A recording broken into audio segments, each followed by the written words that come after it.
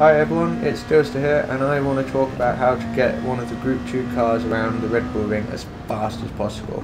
Today we are using the Lexus and I actually used a variable brake balance throughout the lap because each corner responded differently with different BBs. Now, whilst I've later, with more practice, decided that I'm probably going to go with the Honda and I'll explain a little bit more about that later, I have a feeling that the Lexus will be a pretty popular choice, not least because of its tyre management and it also doesn't understeer quite as much as the Nissan.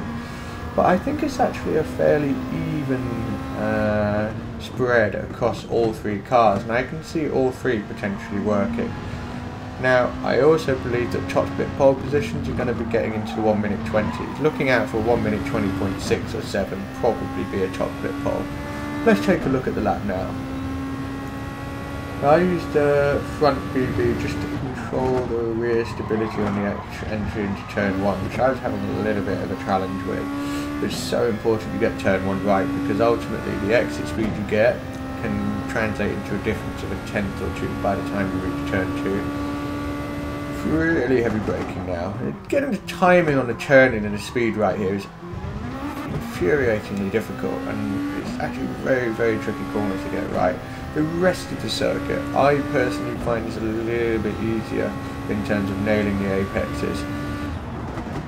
One of my favourite corners here, not least because of the exit. I love balancing the throttle in the car on the exit here. Here's where I go into a rear BB because these downhill non-max braking corners, if you just squeeze the brake pedal, it just helps pull the front of the car in and hug the apex coming up to the final sequence of corners now. And this is the bit where we start to get jelly hands. I know I do because we're on a good lap. You just got to stay cool, light braking, not too heavy, ease it in. A little bit sketchy on entry there. Bam, onto the final straight. Now this is a pretty solid lap. I could have easily got into the 120s here, but my sector 2 wasn't strong enough. And as you can see, my optimal is a 120.742 in the Lexus.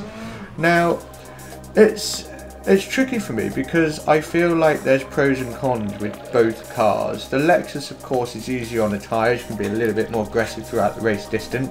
The Honda is tricky for rear tyre management, and I tested both, and I think in qualifying trim, the Honda's going to have the edge.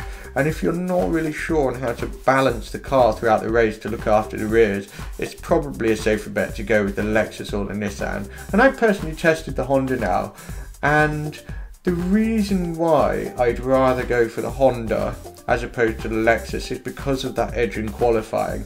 Because when you are leading from pole, it's much, much easier to keep people behind you throughout a race distance because of the dirty air. So let's say, you know, P1, P2, you set virtually identical lap times, you're neck and neck in terms of raw lap speed.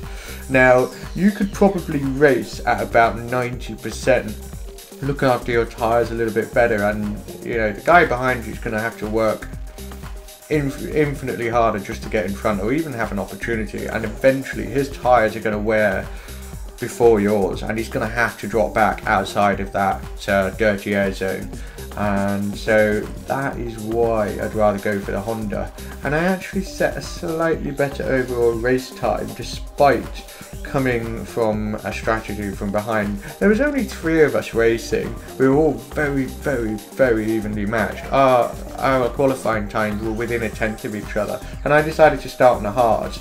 And ultimately, despite starting on the hards and having to pass them in the final sort of 5-6 laps, I still got a very strong race time of a 23.36, which was the same as what I did with the Lexus without any kind of impediment, without having to overtake anybody. So that actually says a lot. Now here's where things get interesting. That strategy only worked because I had absolutely nobody else behind me and the guys in front of me only did a one stop.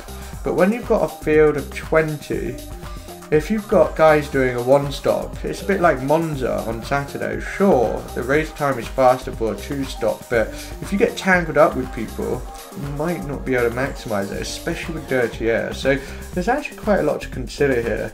My gut feeling right now is to go with the Honda and go for a two stop, assuming we land pole.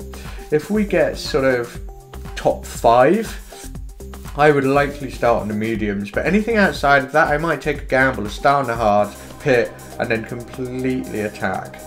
So those are the thoughts I've learned so far about strategy and cars for this upcoming race on Wednesday. I wish you the best of luck. Let me know in the comments what choice you're going for and what strategy you're going to go for.